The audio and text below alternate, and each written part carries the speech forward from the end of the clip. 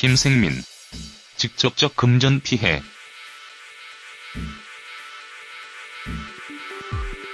방송인 김생민이 미투 논란 이후 자숙 중이다.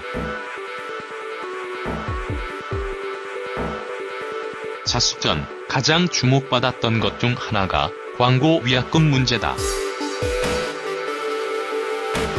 취재 결과 직접적인 금전 피해는 없었다. 김생민은 팟캐스트 성은이 김숙이 비밀보장에서 이른바 경제자문위원으로 불리며 인기를 끌었다. 이에 힘입어 지난해 KBS ETV 김생민의 영수증을 론칭했다. 그는 근검절약 정신과 스튜핏 구루이 등이 재미를 전해주는 유행어가 돼 제1의 전성기를 누렸다.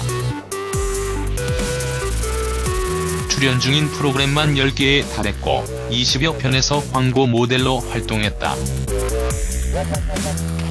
그러던 중 지난 4월 2일 미투 운동 가해자로 지목, 논란이 일었다. 10년 전인 2008년 서울의 한 노래방에서 여성 스태프 2명을 성추행했고 최근 그중 한 명을 만나 직접 사과했다는 보도가 나온 것. 공식 사과 이후 모든 방송에서 하차했다. 논란과 함께 광고 위약금이 뜨거운 감자였다. 적게는 억 원대부터 많게는 수십억 원대까지 위약금을 물게 될지 모른다는 얘기가 방송가에서 흘러나왔다. 그러나 김생민은 광고 위약금으로 금전적 타격을 받지 않았다. 한 강국의 관계자는 단발성 위주 계약이었다. 논란이 일었을 때 이미 계약이 끝난 광고도 있었다. 위약금은 법정 구속일 경우란 단서가 있어 사회적 무리만으로 위약금까지 가긴 쉽지 않다고 말했다.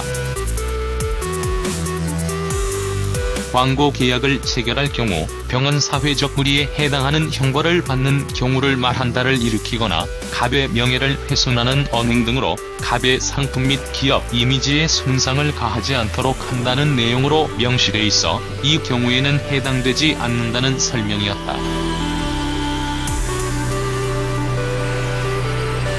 이 관계자는 해당 논란은 10년 전 일이다.